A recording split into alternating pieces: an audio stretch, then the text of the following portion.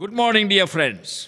और सुप्रभात मेरे मित्रों What a wonderful day it is for us to live and glorify our God. और ये कितना ही अच्छा दिन परमेश्वर ने हमें दिया कि हम फिर से परमेश्वर के लिए जी सके और उसके नाम को महिमा दे सके And I pray that the Lord of uh, eternity gives you a spirit of revelation this morning to understand God's plan for you. और मेरी प्रार्थना यही है कि परमेश्वर प्रभु यीशु मसीह आपको वो समझ दे और आपको वो प्रकाशन दे कि आप उसके वचन को समझने पाए Today's meditation is uh, taken from the book of Revelation, chapter 21, verses 5 and 6. और प्रकाशित वाक्य की 21वें अध्याय से आज की सुबह हमने अपने मनन को लिया है और जो कि आपके चौथे और पाँचवें वचन में पाया जाता है। दीज वर्स से और इक्कीसवे अध्याय पांचवा और छठा वचन में लिखा है he who on the throne said I am making everything new then he said write this down for these words are trustworthy and true जो सिंहासन पर बैठा था उसने कहा देख मैं सब कुछ नया कर देता हूँ फिर उसने कहा लिख ले क्योंकि ये वचन विश्वास के योग्य और सत्य है। He said to me it is done I am the alpha and the omega the beginning and the end to him who is thirsty I will give to drink without cost from the spring of the water of life फिर उसने मुझसे कहा ये बातें पूरी हो गई हैं। मैं अल्फ़ा और ओमेगा आदि और अंत हूँ।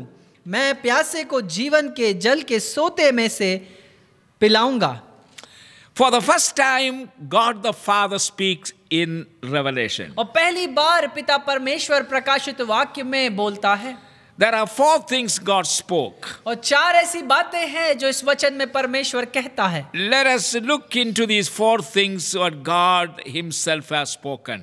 और आइए इन चार बहुत बातों की ओर हम अपने मनन को लगाएँ जो परमेश्वर पिता ने खुद कही हैं There are four things. चार बातें नंबर वन पहली बात says, He is able to make all things new. और वो योग्य है कि हर एक बात को नया बना दे Now, Isaiah heard God. और ऐसा यशा ने भी परमेश्वर को सुना in Isaiah chapter 43 verses 18 and 19 और यशा तिरालीस उसका अठारवा और उन्नीसवे वचन में we read in this pass और इस वचन में हम पढ़ते हैं forget the form of things और पुरानी बातों को भूल जाओ do not dwell on the past और अपने भूतकाल पर तुम ना बने रहो see I am doing a new thing. और देखो मैं एक नई बात को कर रहा हूँ। Now it springs up. और ये बात होने को ही है। डू यू नॉट पर क्या तुम इसे समझते नहीं? I am making a way in the desert और मैं तो उस रेगिस्तान में एक मार्ग को तैयार करता हूँ। And streams in the wasteland और उस खाली भूमि पर नदियों को बहाऊँगा। And then Apostle Paul says in Romans chapter 5, verse और रोमियो की पुस्तक उसमें पौलुस प्रेरित पाँचवें अध्याय और सत्रहवें वचन में कहता है If anyone is in Christ, he is a new कि creation. यदि प्रभु यीशु मसीह में कोई भी व्यक्ति है वो एक नई सृष्टि है All, all things have gone. और जो पुरानी बातें हैं वो बीत गई Behold, everything has become new. और देखो हर एक बात नई हो गई So, what is Paul saying here? और यहाँ पर पौलुस क्या कहता है Paul says, Paul, Paulus कहता But है, God can take a man ruined by sin, कि परमेश्वर एक मनुष्य को जो पाप से पूरी तरीके से नष्ट हो चुका है उसे लेकर and then recreate him, और उसे फिर से नया बना सकता है। And someday, और एक दिन God is going to create a new universe और एक दिन परमेश्वर एक नए ब्रह्मांड को बनाएगा। फॉर होम किसके लिए? For his lives he has changed. अपने संतों के लिए जिनको जिनके जीवनों को परमेश्वर ने बदल दिया है A new universe एक नया ब्रह्मांड for the sake of uh, uh, members of humanity who have been made new by the power of God Himself. उन मनुष्यों के लिए जिन्हें नया बना दिया गया है एक नई सृष्टि के रूप में परमेश्वर के सामर्थ्य के द्वारा Our God is able to do it. और हमारा परमेश्वर योग्य है इसे करने That के is the first revelation. और ये वो पहला प्रकाशन है Secondly, और दूसरी बात we are urged to take these words हमें प्रोत्साहित किया जाता है कि हम इन वचनों को लें and remember them और उन्हें याद रखें because they are true क्योंकि ये सत्य हैं and they are absolutely trustworthy. और ये विश्वास योग्य है It will be to our disadvantage if we ignore them. और ये हमारा ही बुरा होगा अगर हम उनके प्रति अपने मन फिरा लें So, whatever the book of Revelation tells us, और इसलिए जो कुछ भी प्रकाशित वाक्य की पुस्तक हमें and बताती है whatever God Himself has spoken in this, this passage, और जो कुछ भी परमेश्वर ने इस अध्याय में हमसे कहा है don't ignore these. हमें इसके प्रति विरोध या मन ना फिराएँ And if we ignore, it will be to our eternal disadvantage. और अगर हम ऐसा करते हैं तो ये हमारे लिए बुरा होगा So, take whatever has spoken very seriously and apply them into our life. और इसलिए जो कुछ भी परमेश्वर ने कहा उसे गंभीरता से ले और अपने जीवनों पर उसे लागू करें। And the third things he revealed in this passage और जो तीसरी बात है जो इस प्रकाशन में दिखाई गई है I am Alpha and Omega, कि मैं ही अल्फ़ा ओमेगा या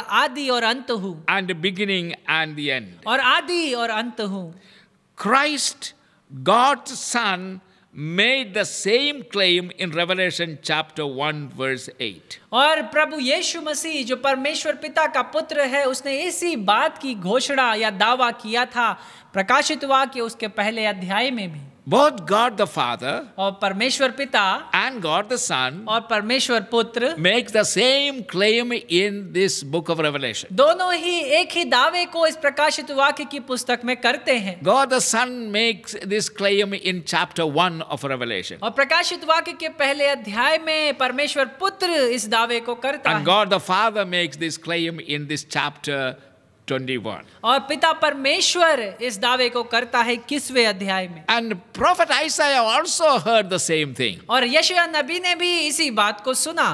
इन आइसाया चैप्टर 44 वर्स 6 और यशया 44 और उसके छठे वचन में। यू रीड दैट आप इसे पढ़ सकते हैं। Alpha is the first letter of the Greek और याद रखिए अल्फ़ा जो है यूनानी भाषा में यूनानी भाषा का पहला अक्षर है। Omega is the last letter और यूनानी भाषा का अंतिम अक्षर ओमेगा है।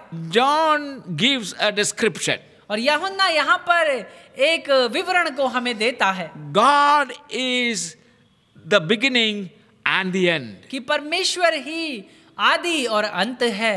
Now the word for beginning is are के और आर्चे। और शुरुआत या आदि के लिए जिस शब्द का प्रयोग किया गया है वो है आर्चे।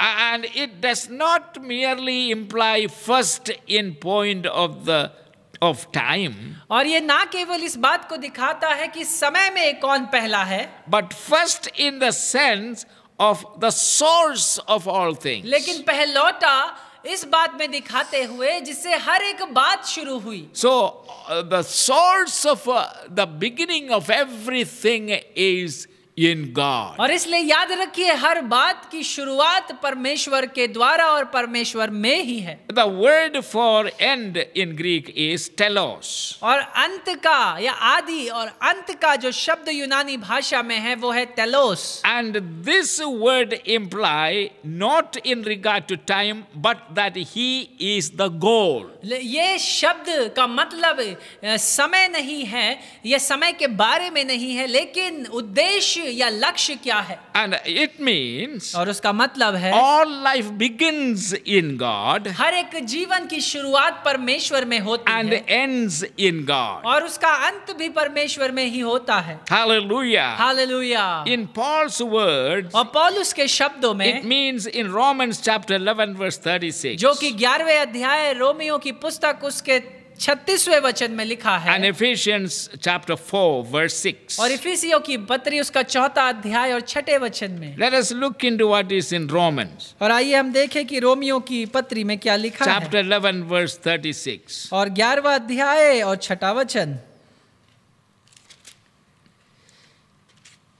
Chapter 11, verse 36 says, और ग्यारहवा अध्याय और छत्तीसवा वचन कहता है क्योंकि उसी की ओर से और हाँ। उसी के द्वारा और उसी के लिए सब कुछ है Yeah. उसी की महिमा युगाना युग होती रहे आमीन from him and through him and to him are all things. क्योंकि उसी की ओर से और उसी के द्वारा और उसी के लिए सब कुछ To है। be the glory forever. Amen. और युगाना युग महिमा उसी की हो आमीन and this is a marvelous revelation. और ये एक अद्भुत प्रकाशन है Everything begins in God, हर एक बात की शुरुआत परमेश्वर में होती है ends in और हर एक बात परमेश्वर में ही अंत हो- whatever है is in और जो कुछ भी बीच के समय में our है God is in perfect control. परमेश्वर उन सारी बातों के सिद्ध नियंत्रण में है Remember this. इस बात को याद रखे And uh, this is what the Word of God says. और यही बात परमेश्वर का वचन हमें सिखाता है And uh, in Ephesians chapter four verse 6. और इफिसियों की पत्री उसका चौथा अध्याय और छठा वचन.